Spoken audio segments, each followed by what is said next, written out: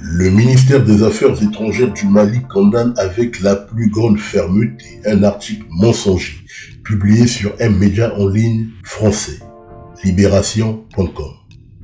Dans cet article, le média français imagine un complot contre l'actuel président de la transition, Assimi Goïta, par son aide de camp, qui aurait tenté de l'assassiner. Une histoire assez invraisemblable pour un média d'État français.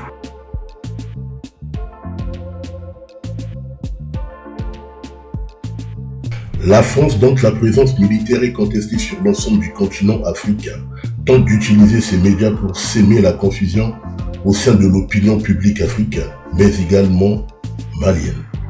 Rappelons que l'armée française a été chassée par les autorités de transition malienne, après plusieurs périodes de tensions diplomatiques. La France est accusée de soutenir des groupes terroristes dans la partie nord du Mali. Il est temps que les Africains cherchent d'autres canaux s'informer. Car les médias français sont animés d'une mauvaise foi. Ils sont là pour garantir les intérêts supérieurs de leur pays, quitte à compromettre l'intégrité, la stabilité des pays africains. Et vous, qu'est-ce que vous en pensez? Faites-le nous savoir dans l'espace commentaire.